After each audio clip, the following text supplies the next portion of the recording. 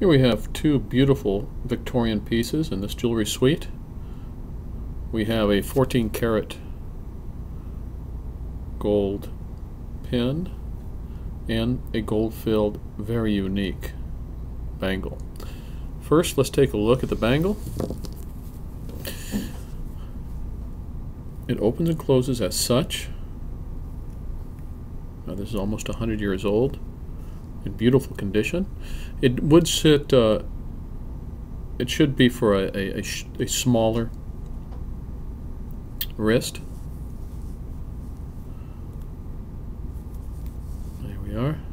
And look at the detail to it, all hand done. And all, look at all the detail on here. Coming around. Coming around around. Beautiful condition.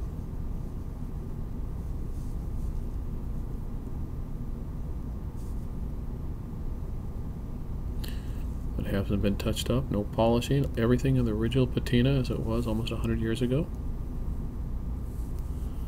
And again the reverse. And now 14 karat pin late 19th century. This is a synthetic stone, quite common those days. Side view, perfect condition. The other side view. The reverse. And the clasp. And the other side.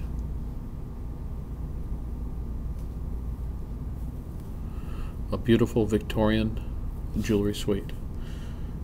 The pen is 46 millimeters long. Everything weighs 18 grams, and the retail replacement value is 1,200 to $1,800.